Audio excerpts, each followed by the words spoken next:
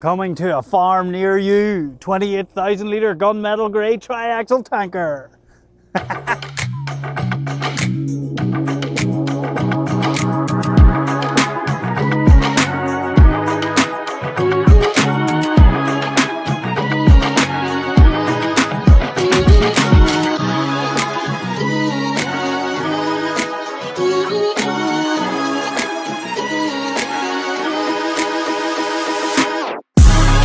Let's have a look at this fantastic 28,000 litre triaxle bespoke build tanker showing how we take 30 years of farm contracting experience and put it into our engineering.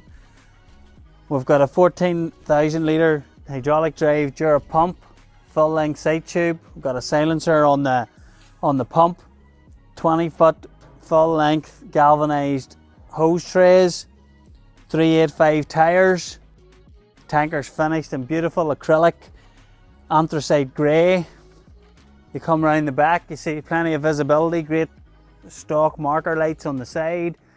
We've got uh, twin work lights, twin highway lights for lots of visibility. See, we've got plenty of fill point options on the back here. Two on the sides and one in the centre. SlurryKat 6 inch overhedge boom. Easy to take on and off, very, very lightweight, very strong. Lovely beefy flap at the back Again, another 20 foot galvanized uh, hose tray. We've got our toolbox, hand wash station. This tanker comes with air suspension. We've got independent lifting axles, front and rear. We've got a K80 spoon hitch, more fill points on the side, and overall looks fantastic.